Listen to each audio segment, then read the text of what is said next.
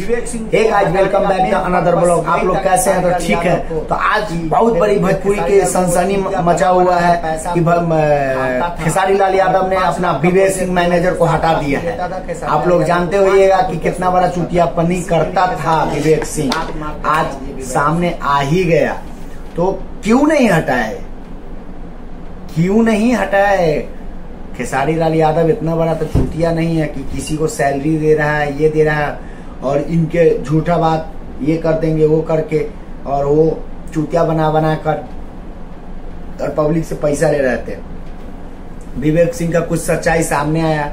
Main reason है कि खेसारी लाल का जो एग्रीमेंट वाला जो ग्लोबल म्यूज़िक से था, उसमें ये विवेक सिंह पढ़ा ही नहीं, और खेसारी लाल यादव से साइन करवा दिया। जिसके कारण वो अभी 2025 तक खेसारी लाल यादव कोई कंपनी को गाना नहीं देंगे। ये सब चीज़ सोच कर और आप एक हम ही, आप ही लोग, आप लोग से बोल रहे हैं कि आप एक लेबर को रखते हैं काम करने के लिए और काम ना हो तो आप लोग क्या करेंगे? तो मनोज रवि किशन भी रखे हैं, मनोज तिवारी भी रखे हैं, पवन सिंह भी रखे हैं, बहुत सारा जितने भी भोजपुरी के छोटे से बड़े कलाकार हैं, हर लोग बिजनेसमैन भी रखते हैं मैनेजर तो काम के लिए रखते हैं। तो खेसारी लाल यादव भी काम के लिए रखे थे। और विवेक सिंह सोचा भी नहीं होगा अपने लाइफ में जितना पैसा कमाए खेसारी लाल यादव यहाँ से। सोचे नहीं होंगे, उतना वो कमा के आगे बढ़ गया विवेक सिंह। और उन्हीं को पिछवाड़ा में किल्ला ठोक रहे थे। क्यों नहीं हटाए? भाई, एक गाना का खेसारी लाल आठ लाख चार्ज करते थे और विवेक सिंह जो है दस लाख में बेचते थे। दो लाख रुपया एक गाना पे खाते थे।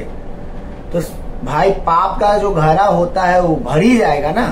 तो दोस्तों, आप लोग चाहते हैं कि ऐसा भोजपुरी में ये सब चीज़ तो गलत है।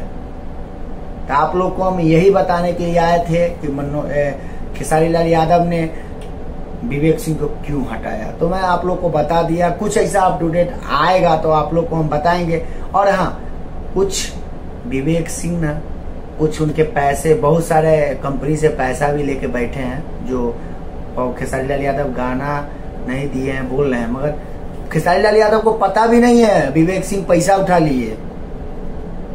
तो खेसारी लाल सामने से लाइव आकर बोल दिए हैं कि उनका मैटर है, वो समझे, जो किया है, वो समझे। हमको उससे कोई मतलब नहीं है। क्या करना है, नहीं करना है, कैसे करना है, जो लिया है, वो देगा। ये सही बात है भाई। आप जो भी है जिसका भी है आप लोग जो भी पैसा दिए होंगे तो आप लोग प्लीज़ आप लोग बात कर लीजिएगा। और जल्दी से जल्दी फिर से नया मैनेजर आ गए हैं, उनका नंबर भी शेयर हो गया आप लोग बोलिएगा तो हम लगा देंगे। आप लोग नंबर जो भी कांटेक्ट करना चाहते हैं खेसारी लाल यादव से उनका गाना लेना चाहते हैं स्टेज प्रोग्राम करना चाहिए तो सब वही संभालेंगे। तो आप लोग ऐसा वीडियो देखने के लिए मेरे चैनल को सब्सक्राइब कर लिए। फिर से मिलते हैं नेक्स्ट वीडियो में।